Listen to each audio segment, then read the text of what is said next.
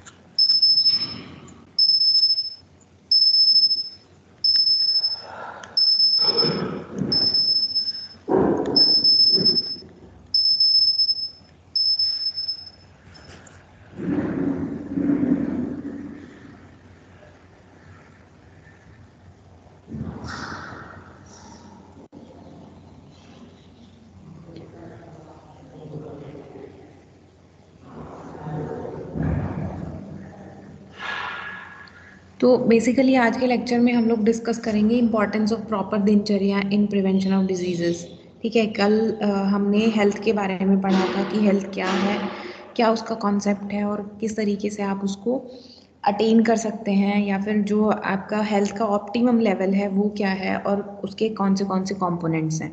ठीक है उसके बाद जब हेल्थ के बारे में पढ़ा था तो हमने डिस्कस किया था डिटर्मिनेंट्स के बारे में। यानी कि कौन से चीज़ें हैं जिनसे हमें पता चलेगा कि जो हेल्थ है, वो प्रॉपर है या नहीं है? उसमें के कुछ एक मोर्टेलिटी के फैक्टर्स थे मॉर्बिडिटी के फैक्टर्स थे, ठीक है? इसके अलावा और भी इन्वामेंटल फैक्टर्स थे, ऐसा करके हम बहुत सारी चीज़ें देख चुके हैं।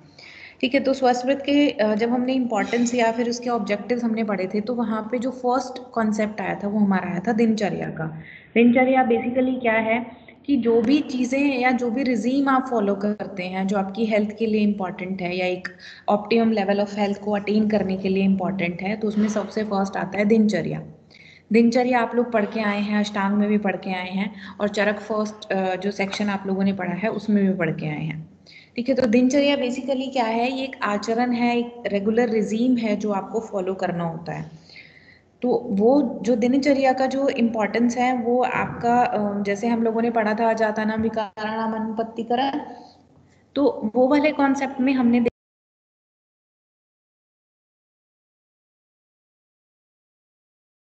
एक बार बुला दो तो हमने कहा था कि अजाता नाम विकाराणाम अनुत्पत्ति कर्म चाहिए। यानी कि जो डिजीजेज नहीं हुई हैं, उनको होने से रोकना या prevention of diseases at the level of pre module या फिर आपका प्राइमरी लेवल ऑफ़ प्रिवेंशन जो है, वो हम दिनचर्या से कर सकते हैं।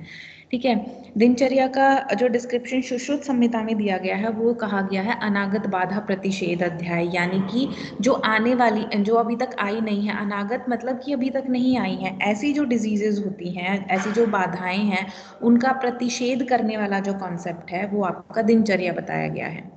ठीक है? तो इसलिए हमारे लिए दिनचर्या इंपॉर्टेंट है प्रिवेंशन ऑफ़ डिजीजेज में। मतलब ये उसकी बेसिकली क्लिनिकल इंपॉर्टेंस है। हालाँकि to for living a healthy life आपकी दिनचर्या उसके लिए भी इंपॉर्टेंट है। ठीक है तो इसलिए हम दिनचर्या का जो क्लिनिकल एस्पेक्ट है या फिर जो प्रैक्टिकल एप्लीकेबिलिटी है, वो आज हम देखेंगे।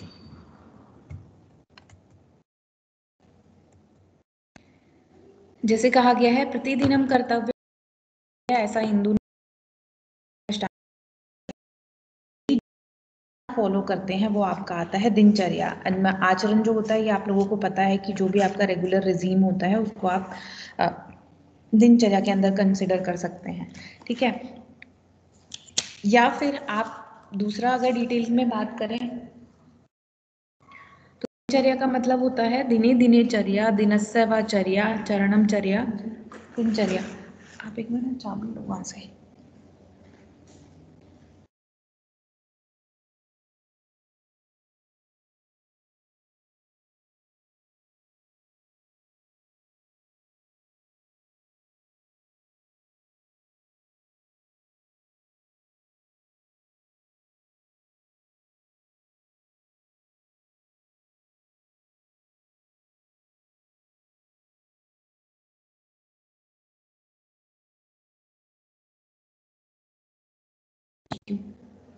ओके सॉरी तो दिनचर्या के बारे में कहा गया है कि दिने दिने चर्या दिनस्यवाचर्या ठीक है, चरणम चर्या, यानी कि जो भी आपका आचरण होता है, जैसे आप रहते हैं, जैसे लोगों से बात करते हैं, आपका जो आहार है, विहार है, वो सारी चीज़ें आपके दिनचर्या में इंक्लूड हो जाती हैं।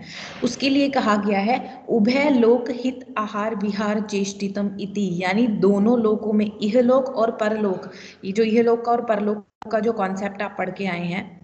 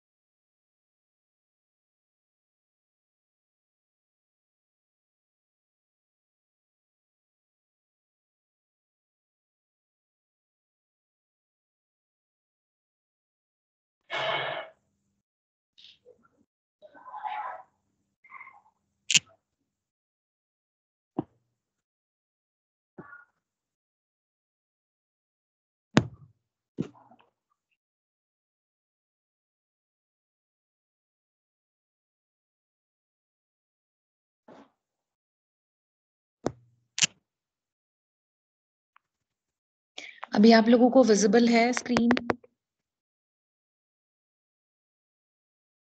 yes ma'am yes ma'am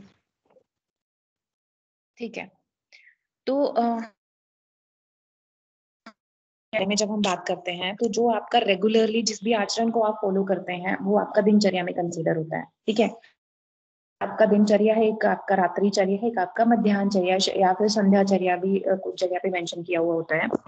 तो प्रतिदिन हम कर्तव्यम चर्या, दिनचर्या, ऐसा कहा गया है। इसके अलावा जो मैंने अभी आपको डेफिनेशन बताई, दिने दिने चर्या, दिनसवाचर्या, चरणम चर्या, उभय लोक हित, आहार विहार, चेष्टितम इति यावत प्रतिदिन कर्तव्यम। ठीक है, ऐसा आप अष्टांग हृदय में पढ़ के आए हैं। और ये जो कमेंट्री की है कि उभय लोक हित, आहार विहार, चेष्टितम, ये बेसिकली अरुंधत ने की है। उन्होंने कहा है कि जो दोनों लोगों में हितकारी आहार और विहार है, ठीक है, उसके लिए आपके पास में जो बताया गया है, वो आपका दिनचर्या होती है, ठीक है? तो ये आपका आता है डिस्क्रिप्शन दिनचर्या के बारे में या फिर उसकी जो डेफिनेशन है, उसके बारे में आप दिनचर्या के बारे में का एक्सप्लेनेशन है, ठीक है? चरक में आप लोगों को पता है मात्रा शित्य अध्याय में आपने पढ़ा है, ठीक है? मात्रा अध्याय आप लोगों ने जब आप पढ़ा होगा तो वहाँ पे मेंशन किया हुआ है मात्रा नाम स्वास्थ्य परिपालनम उपाय उच्चते मात्रा का मतलब बेसिकली है या उसका डिस्क्रिप्शन किया गया है कि आपको स्वास्थ्य के परिपालन के लिए जो भी रूल्स बताए गए हैं, वो आपके बताए गए हैं। मात्रा शीति अध्याय में फिफ्थ चैप्टर में आप पढ़ के आए हैं दिनचर्या के बारे में। और जो वो चैप्टर है, वो बताया गया है आपका स्वास्थ्य के परिपालन के लिए।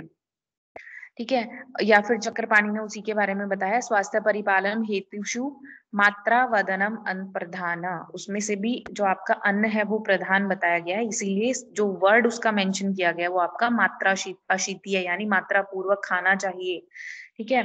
तो इसके बारे में यहाँ बताया गया। शिशुत में मैंने आपको बता दिया, अनागत बाधा प्रतिषेध अध्याय, चिकित्सा स्थान के ट्वेंटी फोर चैप्टर में उसका डिस्क्रिप्शन है। ठीक है? तो इस तरीके से इन्होंने बताया है। आपका जो भी डिस्क्रिप्शन है उसके बारे में। उसके बाद नेक्स्ट आपका आता है, योग रत्नाकर ने भी बहुत अच्छा बताया हुआ है। उन्होंने बताया नित्य प्रवृत्ति प्रकार प्रकरणम, ठीक है? यानी नित्य प्रवृत्ति यानी रेगुलरली जिन रिजीम्स को आप फॉलो करते हैं, जो आपकी वृत्ति होती है, उसके बारे में अगर बात करें तो वो आपका मात्रा का कॉन्सेप्ट आ गया, ठीक है? नित्य प्रवृत्ति का आ गया, दिनचर्या में डिस्क्रिप्शन उसका।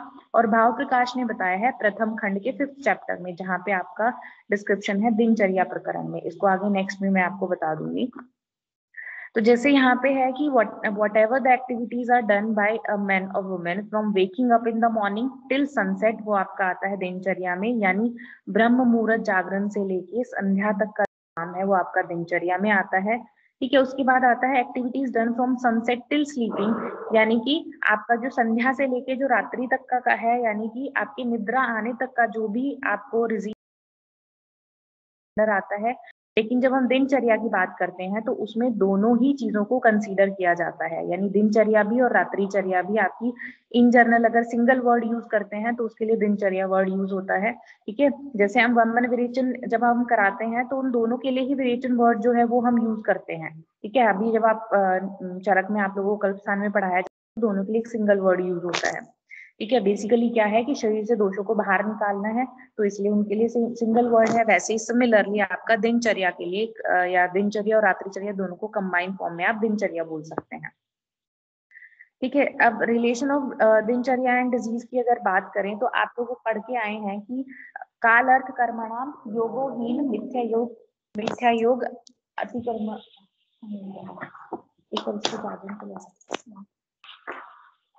थैंक यू ठीक है, काल अर्थ कर्म के जो भी आपके हीन योग, अति योग या फिर मिथ्या योग जो है, वो आपके डिज़ीज़ कॉजेटिव फैक्टर्स हैं। ठीक है? क्या है कि कोई भी चीज़ आइधर आप लेस अमाउंट में कर रहे हैं या फिर इम्प्रॉपरली कर रहे हैं या फिर एक्सेसिव इन्वॉल्वमेंट अगर कर रहे हैं तो उनसे डिजीजेज होती हैं। ठीक है? काल जो वर्ड है, वो आपका ऋतु के लिए भी आता है, आपका एजिंग के लिए भी आता है। ठीक है? तो इस तरीके से आपका जो डे वाला जो पैटर्न है, उसके यूज़ होता है, आपके जो सीज़न है, उनके लिए भी काल वर्ड यूज़ होता है तो अगर उनका हीन योग, मिथ्या योग या अति योग होता है तो डिजीजेस कॉज होंगी। अर्थ, आप लोगों को पता है कि जो इंद्रियों के अर्थ होते हैं, जो सेंस ऑर्गन्स हैं, अगर आप उनका एक्सेसिव यूज़ करते हैं या इम्प्रॉपर यूज़ करते हैं या फिर लेस यूज़ करते हैं तो उस कंडीशन में भी डिजीजेस हो सकती हैं। और कर्म कर्म आपके कायिक, वाचिक, मानसिक आप अष्टांग हृदय में पढ़ के आए हैं, अगर वो भी प्रॉपरली फॉलो नहीं करते हैं तो उस कंडीशन में भी आपको डिजीजेस कॉज होंगी। ठीक है? तो इसके लिए हमें क्या करना है? हमें इम्पोर्टेंस है दिनचर्या की, कि आपकी जो दिनचर्या अगर आप रेगुलरली फॉलो करते हैं, अगर ये जो तीन बेसिक रीजन बताए गए हैं डिज़ीज़ कॉजेशन के लिए, अगर आप योग और मिथ्या योग को अगर आप बैलेंस कर देते हैं, यानी कि आप इनका एक्सेसिव यूज़ नहीं करते हैं, ठीक है तो उस कंडीशन या एक्सेसिव या लेस या इम्प्रॉपर यूज़ नहीं करते हैं तो आप डिजीजेस से बच सकते हैं। और वो आप कैसे मेंटेन करें? विद द हेल्प ऑफ़ दिनचर्या। तो रोल क्या है आपका दिनचर्या को लेके कि it was felt so important by our ancient acharyas that all the Brihatrayis had dedicated a separate chapter to it ठीक है? जैसे कहीं कहीं पे आपको अलग अलग छोटे छोटे सेक्शंस मिल जाते हैं तो वो इम्पोर्टेंट है। लेकिन जो सबसे ज़्यादा इम्पोर्टेंट इसलिए है, क्योंकि हर एक ने अलग से सेपरेटली इसको मेंशन किया है। जैसे आप लोगों ने अलग चतुष्क पढ़े हैं तो जब आपने चरक में स्पेसिफिकली जहाँ पे हेल्थ के बारे में बात की है स्वास्थ्य के बारे में बात की है तो उस चतुष्क में सबसे पहले इन्होंने दिनचर्या के विषय में डिस्क्राइब किया है आप लोगों को। ठीक है? चरक का मैंने बता दिया था आपको, ठीक है? उसके बाद सुश्रुत में अनागत बाधा प्रतिषेध अध्याय में है, ठीक है? और वाघभट ने भी सेपरेटली दिनचर्या में सेकंड चैप्टर में आप लोगों को बताया है सूत्र स्थान के, ये भी आप पढ़ चुके हैं। ठीक है? रेफरेंस से यहाँ पे है चरक संहिता सूत्र स्थान मात्रा शीतीय अध्याय मात्रा पूर्वक आहार के बारे में कहा गया और मात्रा शीतीय इसलिए कहा गया है क्योंकि अन्न सबसे ज़्यादा इंपॉर्टेंट है, ठीक है? स्वस्थ परिपालन हेतुषु मात्रावद अन्न प्रधानम, ऐसा चक्र पानी ने कहा है। अन्न सबसे प्रधान है मात्रा पूर्वक उसका ग्रहण करने से आप हेल्दी रह सकते हैं, इसलिए उसका नाम है मात्रा शीतीय सुश्रुत ने बताया है, अनागत बाधा प्रतिषेध, ठीक है? अनागत बेसिकली जो अभी आया नहीं है और जो बाधा है, वो दुख को कहा है, दुख का सिनोनिम एक डिज़ीज़ होता है तो इसलिए उसका डिस्क्रिप्शन इसके अंडर किया है, ठीक है? और दूसरा है, उसके बाद व्याधि भी कहा गया है आपका दुख को तो इसलिए उनको बैलेंस करने के लिए या फिर उसको आने से रोकने के लिए, किसी भी डिज़ीज़ की अकरेंस को रोकने के लिए अनागत बाधा प्रतिषेध में अध्याय में कहा है। अष्टांग संग्रह सूत्र स्थान का दिनचर्या चैप्टर अष्टांग हृदय का दिनचर्या, ठीक है? इसके अलावा मैंने आपको योग रत्नाकर बता दिया है, नित्य प्रवृत्ति प्रकरण में बताया गया है और भाव प्रकाश ने प्रथम खंड के फिफ्थ चैप्टर दिनचर्या आदि प्रकरण में इसको बताया है, ठीक है? तो ये इसके बेसिक रेफरेंसेस है, जहाँ जहाँ पे दिनचर्या के बारे में डिस्क्रिप्शन है।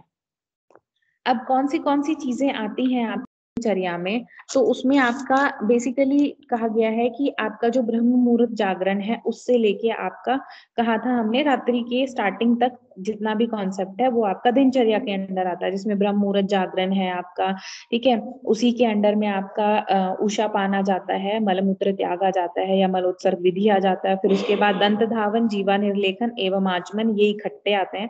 हालाँकि आपकी बुक में सेपरेटली इनको मेंशन किया है। फिर उसके बाद देन कवल एवं गंडूश विधि उसके बाद मध्याहन चर्या और लास्ट में आपका रात्रि चर्या है, ठीक है? ये आप लोग चरक में और इसके अलावा अष्टांग में पढ़ के आए हैं, इनकी क्या क्या इंपॉर्टेंस है? तो यहाँ पे आप लोगों को थोड़ा सा उससे इन डिटेल इसकी प्रैक्टिकल यूटिलिटी क्या है, वो हम इसमें जानेंगे, ठीक है?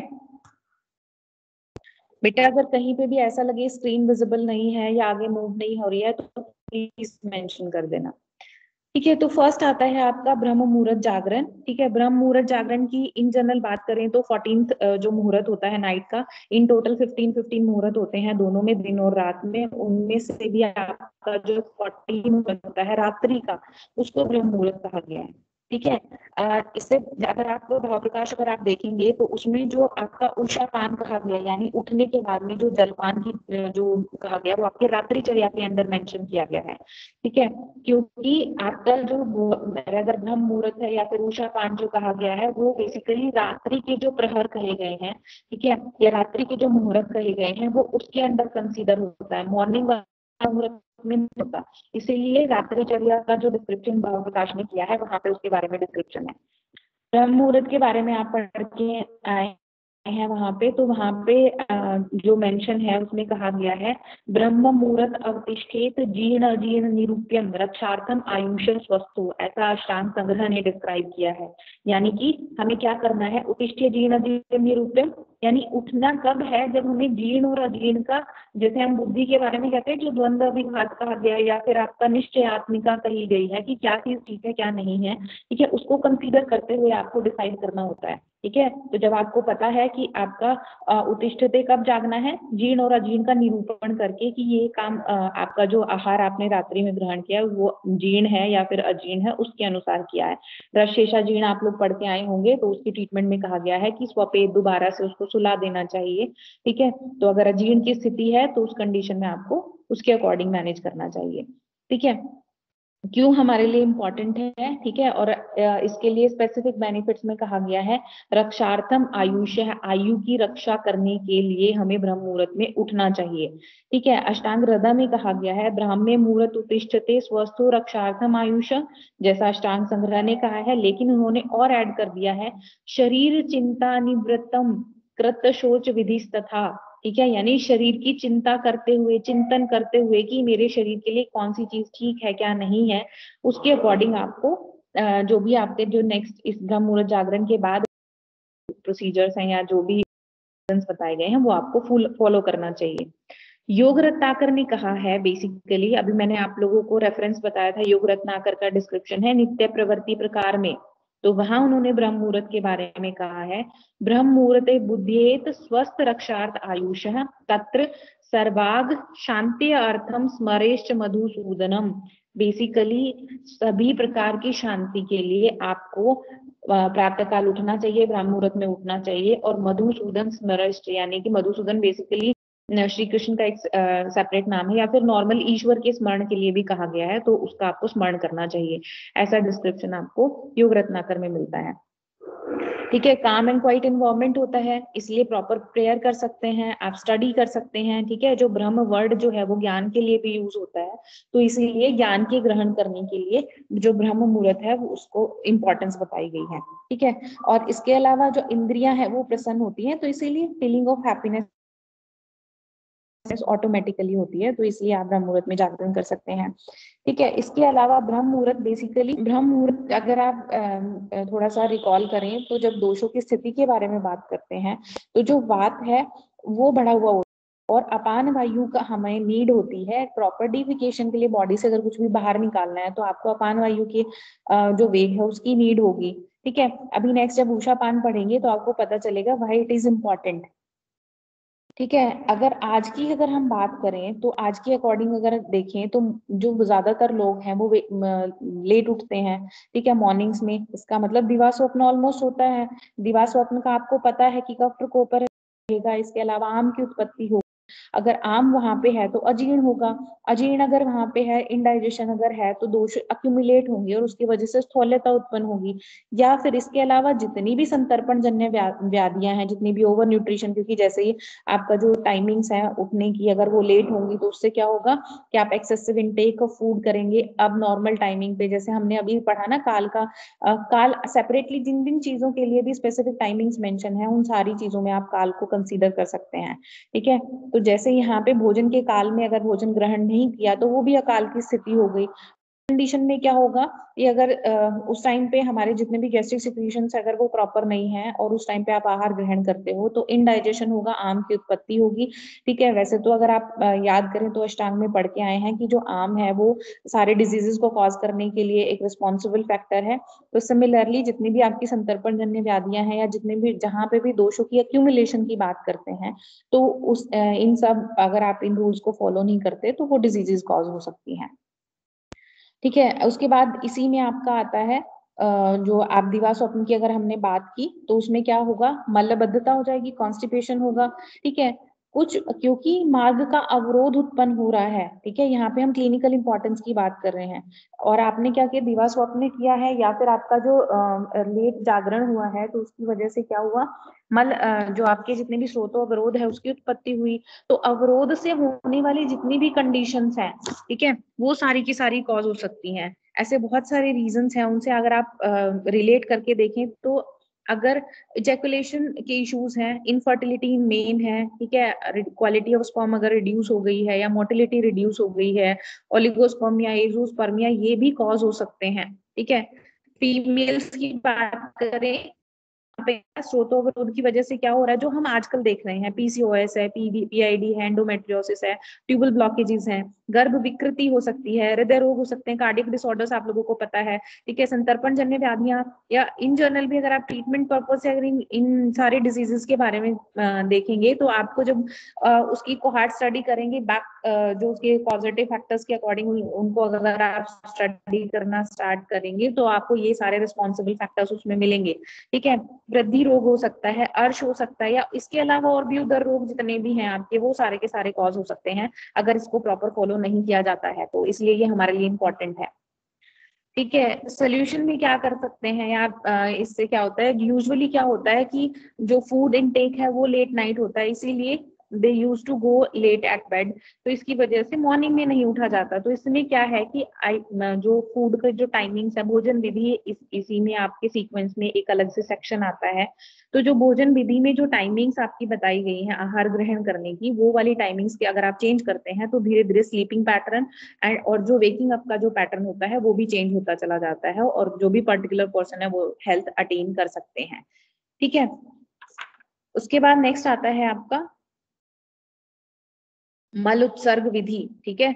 तो फ़र्स्ट आपने क्या किया? ब्रह्म मुहूर्त जागरण उसके बाद आपने देखा आ, मतलब उठते ही आपने मधुसूदन दर्शन या स्मरण किया ठीक है? कुछ जगह पे आप लोगों का दर्पण अवलोकन भी मेंशन किया हुआ होता है।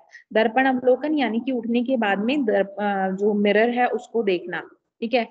मिरर देखने के बेनिफिट्स के बारे में कहा गया है कि एक तो मांगल्य होता है ठीक है? मंगल कारक होता है। मंगल कारक इसलिए भी कहा गया है जैसे हमारे यहाँ पे जो आत्म तत्व की है, वो हमारा at the centre of forehead कहा कहा गया है, ठीक है?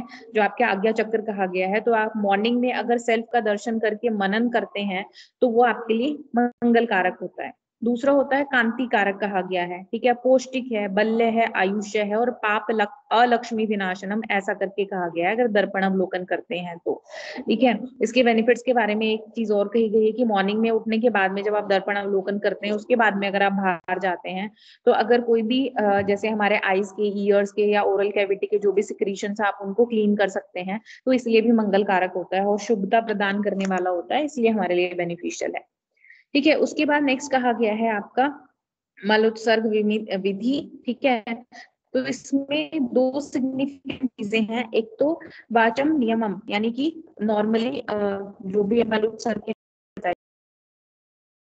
बी साइलेंट ठीक है? और evacuation should be done when urge if whenever there is a urge for the defecation ठीक है? अधारणीय वेगों में आपने पढ़ा होगा, ठीक है? वहाँ पे भी आपका मलमूत्र जो या पुरुष का जो वेग है, उसके लिए कहा गया। अगर आप जिस पर्टिकुलर टाइम पे वेग की उत्पत्ति उत्सर्ग नहीं करते हैं तो डिजीजेस हो जाती है, जैसे पीढ़ी का उद्वेष्टन है या फिर आपके मलबद्धता है, आटोप है, ऐसा करके बहुत सारी डिजीजेस बताई गई हैं, ठीक है? तो जब भी अर्ज़ फील होती है, उस पर्टिकुलर टाइम पे ही आपको मल उत्सर्ग करना चाहिए। अगर जैसे आप लोग डिजीजेस आगे नेक्स्ट पढ़ेंगे तो उसमें आप देखेंगे कि अगर जैसे वॉशरूम की जो की टाइमिंग्स अगर इंक्रीज होती हैं ड्यूरेशन सॉरी अगर इंक्रीज होती है तो उसमें हेमोरॉइडल कंडीशन है या फिर आपका फिस्टला है फिशर है, ऐसी कंडीशन अराइज हो जाती है, ठीक है? एब्जॉर्प्शन डिसऑर्डर हो सकते हैं। तो इसलिए मलुत्सर्ग की बहुत ज़्यादा इंपॉर्टेंस है। मलुत्सर्ग से आ, से आप पहले की अगर बात करें तो उसमें ऊषा पान का डिस्क्रिप्शन है बट वो रात्रिचर्या में क्योंकि बताया है भाव प्रकाश में तो हम उसके अकॉर्डिंग देखेंगे। ठीक है?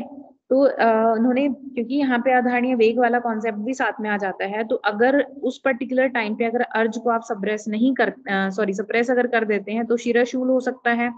ठीक है? अपान वायु क्योंकि डिफिकेशन के लिए इंपॉर्टेंट है और अगर अपान वायु अवरुद्ध हो गई है तो उस कंडीशन में ऊर्ध्व गति हो जाएगी अपान वायु की, ठीक है? इसके बाद जो स्पेसिफिकली कर्तनवत पीड़ा होती है, ठीक है? ये आप लोगों ने अगर देखा होगा तो अगर ऐसे कोई पेशेंट्स अगर आते हैं, जिनमें ऐसे इश्यूज़ रहते हैं तो उस कंडीशन में वो आपको एक्सप्लेन करते हैं कि बहुत ही एक्सक्रूशिएटिंग पेन होता है, बहुत ज़्यादा जैसे अंदर से कुछ काट रहा हो, ऐसे टाइप का पेन होता है। ठीक है, अगर फोर्सिबली आप करते हैं या प्रॉपर डिफिकेशन अगर नहीं होता है तो उस कंडीशन में आपको पाइल्स है रेक्टर प्रोलैप्स है एनल फिशर है, ये सारी चीज़ें हो सकती हैं। ऐसा मल उत्सर्ग का क्लिनिकल इंपॉर्टेंस है। क्यों मल उत्सर्ग इतना ज़्यादा इंपॉर्टेंट है हमारे लिए? ठीक है प्रेजेंटली बात करें तो ये एक जर्नल आप लोगों को पता है कि ड्यूरिंग डिफिकेशन आइधर लोग फ़ोन चला रहे होते हैं न्यूज़ पेपर रीड कर रहे होते हैं। तो बेसिकली इससे क्या होता है कि डेफिकेशन uh, के लिए we have to signal our specific section of brain ठीक है? जिससे वो हमारे जो हम गट की जो पेरिस्टाल्टिक मूवमेंट है डेफिकेशन के लिए हमारी जो रेक्टल मसल्स है उनको स्क्वीज करना है तो ये सारे के सारे सिग्नलिंग जो हो रही होती है उसमें ऑब्स्ट्रक्शन uh, क्रिएट होती है ठीक है? इससे क्या होता है जो इवैक्यूएशन का जो इन जनरल जो अर्ज़ होती है वो सप्रेस हो जाता है। एक तो प्रॉपर सिग्नलिंग की लैक की वजह से और दूसरा इसके अलावा जो आपकी जितने भी आपकी मूवमेंट्स होती हैं या आपका जो बिज़ी शेड्यूल है या फिर आपका लेट नाइट तक आप जाग रहे हैं मॉर्निंग में लेट तक उठ रहे हैं तो उसके इफ़ेक्ट की वजह से ऐसा होता है ठीक है? या फिर जो प्रेजेंटली हमारी जो स्क्वेटिंग प्लेट्स होती हैं जो भी स्पेसिफिकली uh, जो टॉयलेट्स बने हुए होते हैं उनकी जो पोजीशन है वो भी इसमें एक रोल प्ले करती है। ठीक है? अननेचुरल जो पोजीशन है, उसकी वजह से इनकम्प्लीट डिफिकेशन होता है। अगर थोड़ा सा आप और आप पीछे की तरफ़ जाएँ तो आप लोगों ने एनाटॉमी में पढ़ा होगा कि एग्जैक्टली exactly आपकी जो प्यूबोरेक्टलिस जो मसल है, वो बेसिकली क्या, कैसे काम करती है, कैसे सपोर्ट करती है आपके रेक्टल की जो एग्जैक्ट शेप है, जो आपकी बॉडी के लिए बहुत ज़्यादा इंपॉर्टेंट है। फिजियोलॉजी में अगर आप जाएँगे then you will got to know the exact mechanism जो आपकी मसल्स होती है, उनकी पोजिशन क्या है और किस तरीके से वो आपको हेल्प आउट करती है डिफिकेशन में। ठीक है? तो अगर नेचुरल पोजीशन नहीं है तो उस कंडीशन में जो भी मसल्स हैं वो रेक्टम को चौक कर देती हैं जिसकी वजह से इनकम्प्लीट डिफिकेशन होता है। और आप लोगों को पता है अगर मल शरीर में पड़ा हुआ रहता है तो वो लेटर ऑन डिजीजेस कॉज करता है। तो इसीलिए जो इंडियन स्टाइल ऑफ़ स्वेटिंग है वो हमारे लिए uh, ज़्यादा बेनिफिशियल है। जैसे इमेज में भी देख पा रहे होंगे नेचुरल स्वेटिंग पोजीशन है एक आपकी ठीक है? तो उस वो किस तरीके से हमारे लिए इम्पोर्टेंट है। ठीक है, ये राइट और रॉन्ग में है। अगर इस तरीके की स्क्वेटिंग प्लेट्स अगर हैं तो उसमें भी स्पेसिफिक एंगुलेशन हमारे लिए इम्पोर्टेंट है, जो इन हेल्थ है, उसके एक पॉजिटिव आउटकम के लिए हमारे लिए इम्पोर्टेंट है। आता है आपका दंत धावन, जीवा निर्लेखन और आचमन। ठीक है, ये भी आप पढ़ के आए हैं, जीवा बेसिकली जो आचमन वाला कॉन्सेप्ट है, कुछ जो संहिताएँ हैं, उनमें आपका जो मल त्याग है, उसके बाद में भी बताया हुआ है, मल त्याग के लिए दिशाएँ भी बताई गई हैं। दिशा में आपकी उत्तर दिशा मॉर्निंग के लिए और आपकी दक्षिण दिशा है वो रात्रि के लिए या इवनिंग टाइम के लिए बताई गई है। ठीक है? आप लोगों को पता है कि स्पेसिफिकली अगर जो पूर्व और पश्चिम है, वो आपकी नक्षत्र पूजन के लिए जो दिशाएँ हैं, वो बताई गई हैं पूजन विधि के लिए। या फिर दूसरी अगर बात करें तो बेसिकली जो एयर की मूवमेंट होती है, पहले क्या होता था ओपन एरिया में डिफिकेशन करते थे तो उसकी वजह से स्पेसिफिकली जो दिशाएँ हैं, वो मेंशन की हुई हैं। ताकि जो भी जैसे आप बॉडी से कोई भी अगर मटेरियल लॉस कर रहे हैं तो उसमें बॉडी की हीट भी लॉस होती है।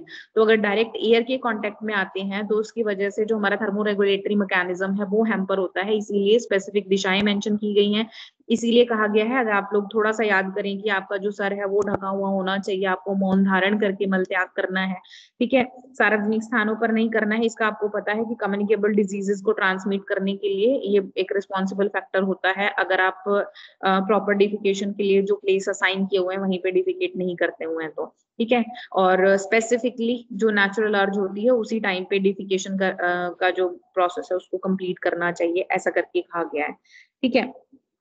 और इससे जो अननेचुरल या फिर जो अर्जिस को अगर आप सप्रेस करते हैं या प्रॉपरली जो वेग है उसको रिलीज़ नहीं करते हैं तो यहाँ पे शिराशूल अपान वायु अपान वायु की ऊर्ध्व गति ठीक है, कर्तनवत पीड़ा, अर्श है, आपके इसके अलावा जो रेक्टल प्रोलैप्स एनल फीचर हैं, ये भी बताए गए हैं। इसके अलावा कहा गया है आंतर कूजनम ठीक है, उदर गौरवम, ठीक है, या अवधारणम, अवधारण यानी कि कर्तनवत पीड़ा हो गई, ठीक है, उदर गौरव यानी बॉडी में हैवीनेस रहती है स्पेसिफिकली अबडोमिनल एरिया में, और आंतर कूजन क्योंकि जो अपान वायु की ऊर्ध्व गति है, उसकी मूवमेंट की वजह से एयर की, या जो गैसेज है, उसकी मूवमेंट की वजह से इंटरस्टाइल में specific type of sound create होती है।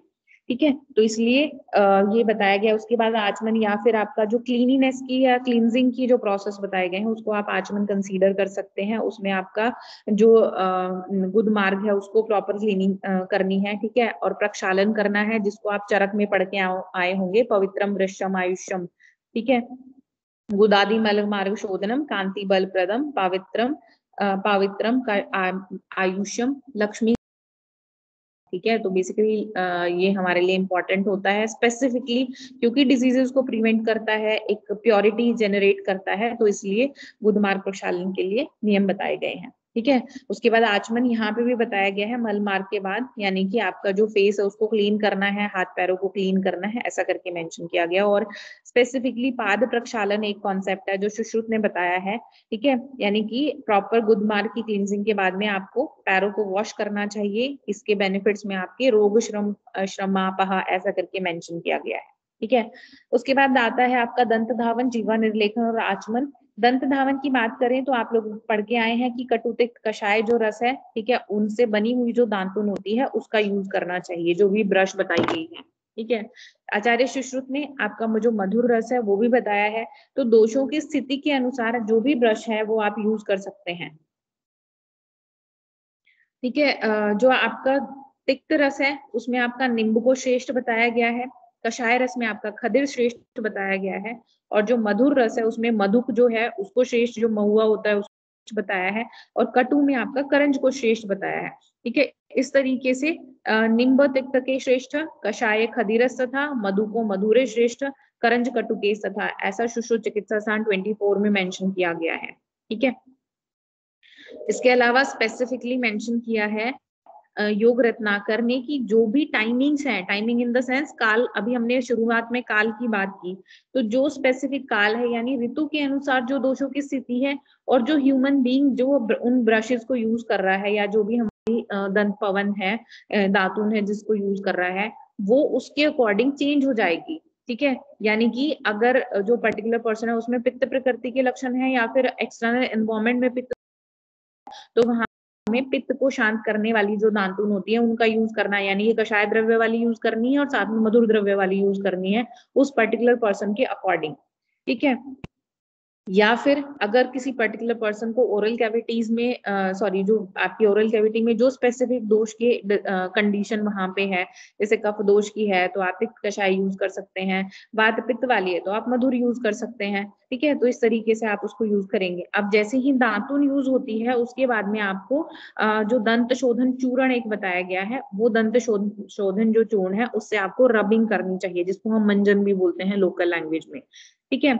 तो उसके लिए कौन से द्रव्य बताए गए हैं? उष्ट है, त्रिकटु है, त्रिफला है, त्रिजात है, वाप्य, त्रिवर्ग, तृत्य। ठीक है? उसको शौद्र के साथ मिक्स करके, यानी कि आपका जो शहद है उसके साथ में मिक्स करके घर्षयित, घर्षण करना चाहिए जो आपके टीथ हैं उन पे। ठीक है? इसके अलावा और भी बताए गए हैं, जैसे आपका त्रिवर्ग के साथ तैल सैंधव को मिक्स करके या फिर जो तेजोवती होती है उसके साथ में दंत का शोधन करना चाहिए। ठीक है? अब उसके बाद में दंत शोधन के काल बताए गए हैं। जो आपके दंत शोधन के काल की बात करें तो दो टाइम पे ब्रशिंग के, प्रातः भुक्तवा चाहे मृदु अगरम, कषाय कटु तिक्तकम, ऐसा करके अष्टांग ने बताया है।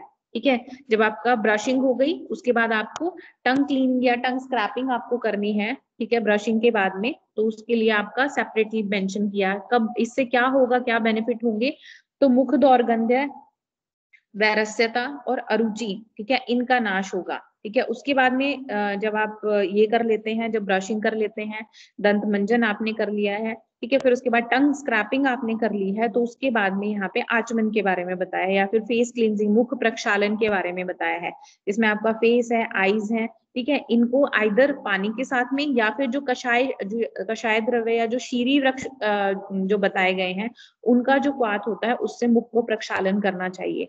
ठीक है? ऐसा बताया गया है सुश्रुत संहिता ने मुख प्रक्षालन के लिए स्पेसिफिकली एक तो है, ठीक है? और जो शीरी वृक्ष हैं, उनकी जो छाल होती है, उससे बनाया हुआ जो क्वाथ होता है, उससे क्लिनजिंग के लिए बताया गया है। उसका बेनिफिट क्या होगा? नीलिका है, व्यंग है रक्त पित्त जन्य व्याधियाँ हैं, जितनी भी, ठीक है? या फिर जो आप और जो मतलब स्पेसिफिकली फेस के जो भी एलिमेंट्स हैं, उन सबको आप रिमूव कर सकते हैं और मैनेज कर सकते हैं, ठीक है? इस तरीके से आपका आचमन बताया है, या सॉरी मुख प्रक्षालन बताया है अब अभी की अगर बात करें तो उस कंडीशन की, उस कंडीशन में बेसिकली जो जितने भी टूथपेस्ट होते हैं, अभी आप लोगों ने देखा होगा, वो सारे मधुर रस प्रधान होते हैं, ठीक है? ऐसा डब्ल्यू एच ओ ने बताया है कि नॉर्मली एक स्पेसिफिकली जो डब्ल्यू एच ओ की फैक्ट शीट है, उसने कहा है कि world wide sixty two ninety percent of school children and nearly hundred percent of adult have dental cavities ठीक है? मधुर रस वाली है तो हमारे लिए क्या है कि हमारे लिए वो बेनिफिशियल नहीं है।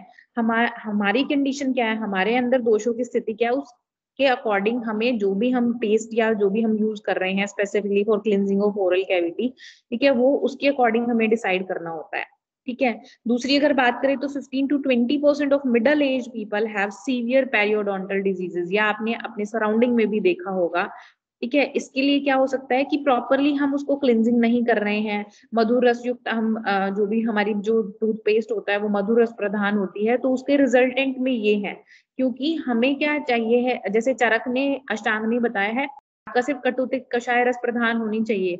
सुश्रुत ने मधुर जो रस है, वो ऐड किया है, वो इसलिए कि अगर कोई स्पेसिफिक कंडीशन है, अगर पित्त दोष वहाँ पे है, अगर वहाँ पे व्रण की फॉर्मेशन है या फिर जो पर्टिकुलर पर्सन है, उसमें पित्त दोष का प्राधान्यता अगर है तो उस कंडीशन में हम मधुर रस को यूज़ कर सकते हैं। अदरवाइज़ जो चरक और अष्टांग हृदय हैं, उन्होंने आपका कटुतिक्त कषाय जो द्रव्य बताए गए हैं, उन्हीं से आपका जो ओरल कैविटी की क्लिनजिंग है या फिर जो टीथ की क्लिनजिंग है, वो उसके अकॉर्डिंग बताई है। यानी वही हमारे लिए बेनिफिशियल है सबसे ज़्यादा। ठीक है, इसके अलावा उसके बाद में जो हमारे यहाँ पे जो फेस क्लिनजिंग के लिए स्पेसिफिकली कहा गया है ओरल कैविटी की क्लिनजिंग के बाद में तो नॉर्मली हमारे यहाँ पे प्रैक्टिसेबल नहीं है। मतलब करंट सिनेरियो की बात कर रही हूँ। तो उसकी वजह से क्या होता है, जैसे फ्रीक्वेंट ओरल डिज़ीज़ हो रही है, आपका एक्ने हो रहे हैं डार्क सर्कल्स हो रहे हैं फेशियल पैचेस हो रहे हैं तो ये भी आपका एक रिस्पॉन्सिबल फैक्टर है, ये सब चीज़ें या इन जनरल जो रूटीन बताया गया है, उसको फॉलो ना करने का। ठीक है? तो इस तरीके से आपका बताया गया है दंत धावन, जीवा निर्लेखन और आचमन। ठीक है? दंत धावन में हमने देख लिया, जो हमारे चार जो रस बताए गए हैं, कटुतिक्त कषाय और लास्टली जो मधुर है वो आपका सुश्रुत ने ऐड किया है।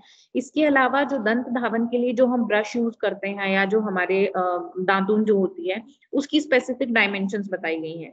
डायमेंशन कितनी बताई गई है कि आपकी जो बारह अंगुल लंबी होनी चाहिए ठीक है, द्वादश आंगुल्यम, ऐसा करके आया है। कनिनिका अग्रम समस्थौल्यम, जो आपकी लिटिल फिंगर होती है अप्रोक्सीमेट उसकी इतनी थिकनेस होनी चाहिए। सुकुर्चम प्रॉपर उसकी जो कूची, यानी जो आपका फ्रंट वाला जो पोर्शन है, जिससे आप अपने टीथ्स को रब करने वाले हैं वो सुंदर होना चाहिए कुशन अग्रम ठीक है, अग्रभाग उसका पूछा हुआ होना चाहिए, रिजु एकदम स्ट्रेटन होनी चाहिए, अग्रंथी, जो भी आप यूज़ कर रहे हैं, वो एकदम बिना किसी जो उसमें नोट्स होती हैं, वो नहीं होनी चाहिए, अग्रंथी, सुभूमिज और अच्छी जो जगह होती है या जो आपका प्रशस्त देश जो कहा गया है, वहाँ पे उत्पन्न हुई होनी चाहिए। और उसके अलावा आरतु अनुसार आपको जो भी जो रस है, जिसकी भी नातुन आपको यूज़ करनी है, वो आप उसमें कंसीडर कर सकते हैं। ठीक है, ऐसा हृदय में भी बहुत सारे रस बताए गए हैं, जिनमें बहुत सारे